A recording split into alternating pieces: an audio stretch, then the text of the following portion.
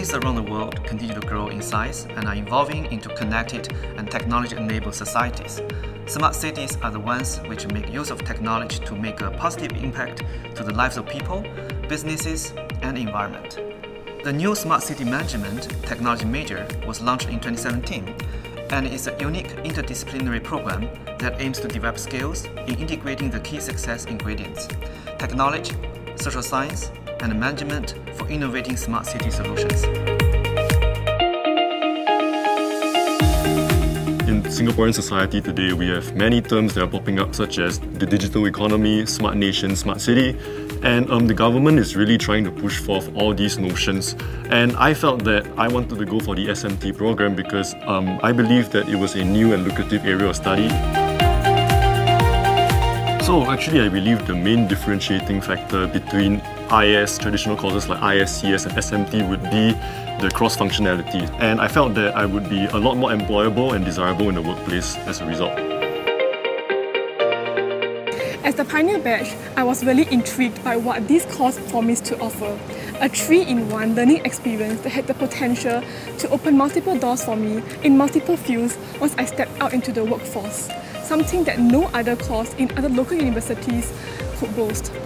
Unlike the usual curriculum, the SMT program helps to build the bridge between technology and society, teaching us how to apply whatever technical skills we learned directly to real-life smart city projects.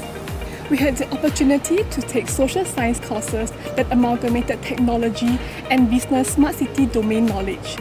These specially curated courses equipped us with industry-relevant knowledge such as the geographic information systems, public policies, and sustainable digital cities.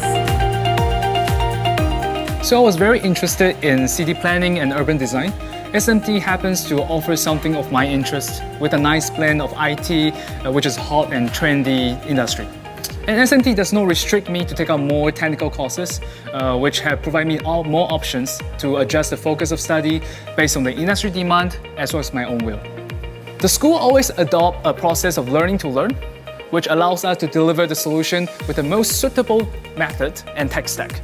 Many of the projects require the integrated knowledge of social sciences, technology, and business, whereby if a technical solution is designed to solve a business problem, the survey design and other research methods from social sciences will kickstart to understand the customer demand, followed by project management to ensure a smooth delivery of product in a given timeline. I chose to join the SMT program because apart from learning new technology, I wanted to gain interdisciplinary skills and know how I could help transform Singapore into a more technology-enabled society so as to provide for a better quality of life for everyone.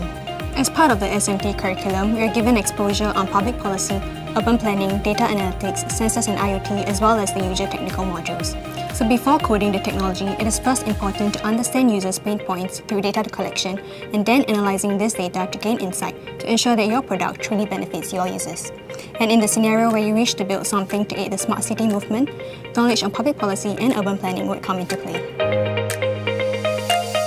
So other than giving given the chance to dabble into the Internet of Things or IoT and data science early in my first two years here, the course have also opened many doors for various internship opportunities. So these include interning at the Centre of the Cities as a Smart City Research Intern in the summer of my first year.